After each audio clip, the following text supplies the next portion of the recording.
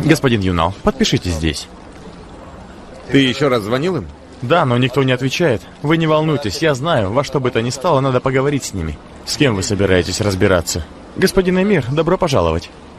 Да, нашлись тут одни мелкие людишки. Спасибо. Мы связались с ними благодаря тебе, сынок. Я с утра занимаюсь отцом этого парня, который разбил твою машину в дребезги. Да ладно, папа, забудь о них. Забудь, говоришь? 70 тысяч лир для нас не сумма, конечно. Но почему, зная это, они не должны возвращать нам долг? И похоже, им каким-то образом удалось заставить тебя поверить в их ложь. Что мне сделать, папа? Пойти и кулаками решать проблему? Если понадобится, ты пойдешь к ним. Если у нас есть деньги, это не говорит о том, что мы должны прощать их. Будь мужчиной. Иди и реши проблему с этими низкими людьми.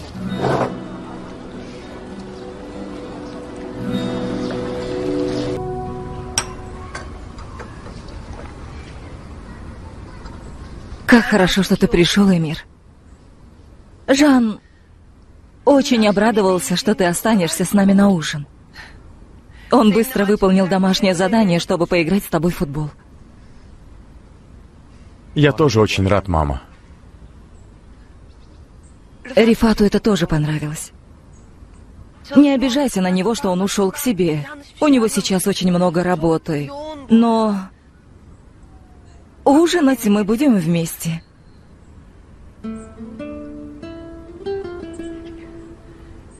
Эмир, когда ты приведешь к нам Фериху?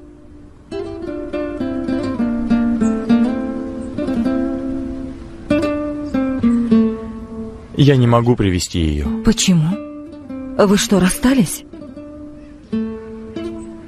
Мама, давай не будем это обсуждать. Сынок, когда ты лежала в больнице, я видела, как она смотрела на тебя, как Фериха ухаживала. Вы так любите друг друга. Я не понимаю, как можно было так поссориться.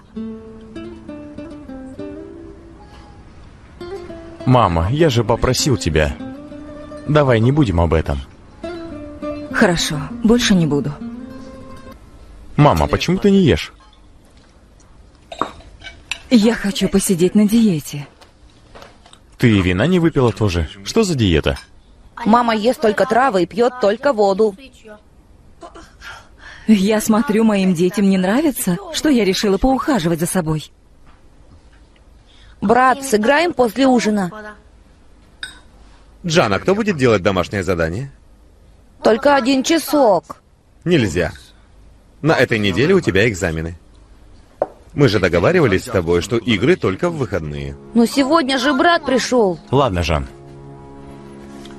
Ты выучи уроки, а я потом еще раз заеду. Лучше приезжай на выходные.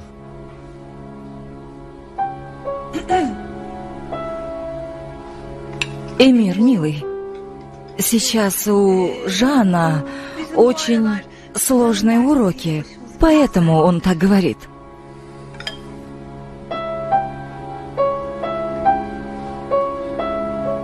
Ладно, мне пора. Ты не останешься на кофе? Не останусь. Ну вот, всегда так.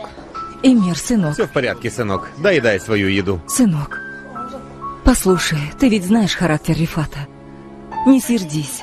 Это не имеет к тебе никакого отношения. Ты знаешь, мама, что мне этот характер не по душе. Я понимаю, но... Эмир,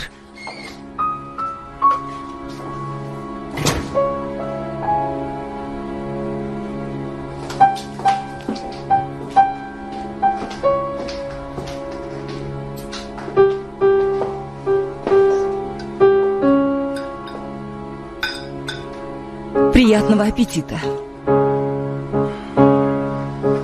Жан, кушай.